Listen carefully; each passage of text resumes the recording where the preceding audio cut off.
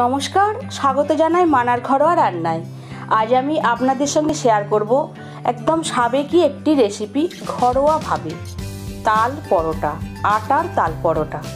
আটার তাল পরোটার জন্য আমি এখানে এক বাটি আটা নিয়ে নিয়েছি।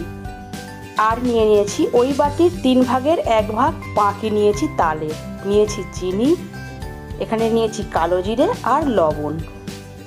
প্রথমে আমি তালের পাখিটা দিয়ে দিয়েছি। যা আটা নেবেন তার তিন ভাগের এক ভাগ তাল পাখি নিলেই হবে। অল্প অল্প করে আটা দিয়ে মেশাতে হবে।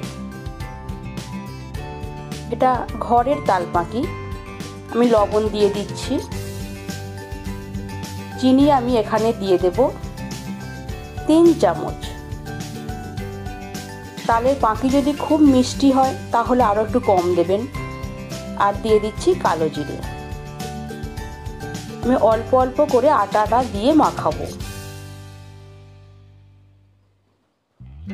ভীষণ টেস্টফুল একটা রেসিপি এবং সিজিনের এটা তাল পাকলে তবে এটা করা যায়। দেখুন, অল্প অল্প করে দিচ্ছি। আমার কিন্তু সমস্ত আটাটাই এখানে লাগবে, আমি কিন্তু একসঙ্গে দিয়ে মাখাচ্ছি না। দেখুন, একটা টো তৈরি হয়ে গেছে। মাঝারি টু। খুব শক্ত নয়, আবার খুব নরম নয়। আমি এখন ঢেকে রেখে দেব তিরিশ মিনিট। হালকা আমি তেল ব্রাশ করে দিয়েছি। তিরিশ মিনিট পর দেখুন, যেহেতু চিনিটা আছে, আরও একটু নরম হয়ে গেছে।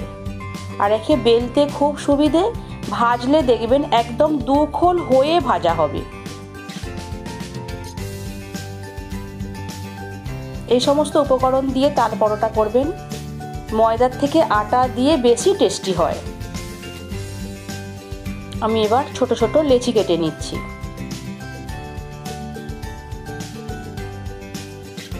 লেচিটাকে আমি চাপ দিয়ে দু হাতের সাহায্যে গোল করে নিয়েছি। এবার একটু তেল মাখিয়ে নিতে হবে। আপনারা যদি তেলে না বেলতে পারেন, তাহলে গুঁড়ো দিয়েও বেলতে পারেন, আটার গুঁড়ো দিয়ে। যেহেতু তেলে ভাজা হবে, তেল দিয়ে বেলাটাই খুব বেশি ভালো। দেখুন আমি কীভাবে পরোটাটা বেলছি। আমার পরোটাটা তিন কোণ হবে।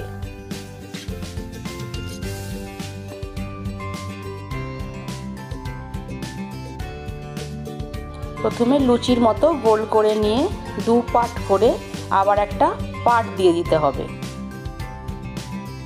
দেখুন, তিন কণ হয়ে গেছে। এবার ঠিক করে বেলে নিতে হবে।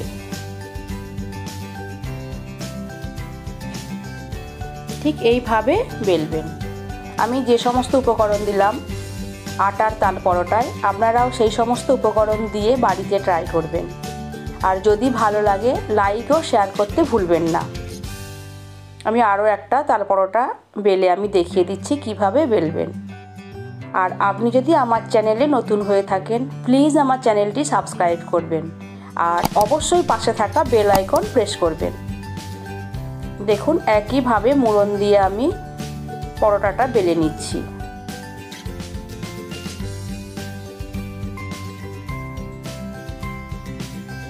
এবার দেখুন, তেলটা বেশ গরম হয়ে গেছে। ঠিক এইভাবে দিয়ে আমি ভেজে নেব।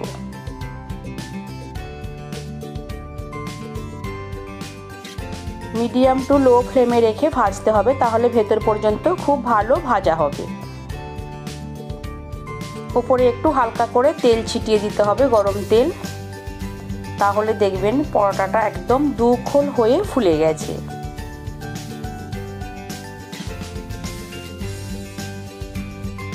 দেখুন, কেমন সুন্দর ফুলে গেছে।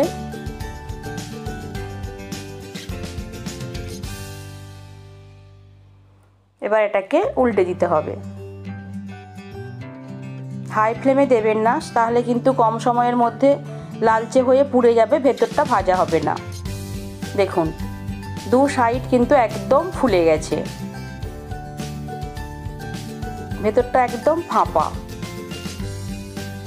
এইভাবে আমি আরও একটা পরোটা দিয়ে ভেজে নিচ্ছি।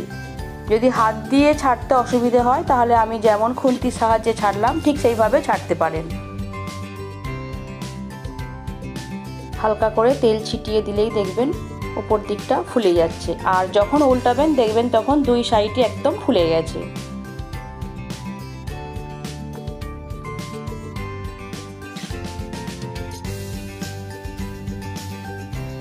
এইভাবে সমস্ত ডাল পরোটা আমি এখন ভেজে নেব। এটা হয়ে গেছে, এটাকে তুলে নিতে হবে।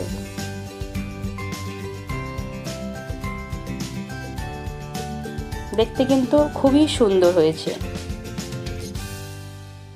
সমস্ত পরোটা আমার এখন ভাজা হয়ে গেছে। তৈরি হয়ে গেছে আটার তাল পরোটা। আজ এই পর্যন্তই। আবার দেখা হবে অন্য এক রেসিপি নিয়ে। ততক্ষণে খুব ভালো থাকবেন, সুস্থ থাকবেন। নমস্কার।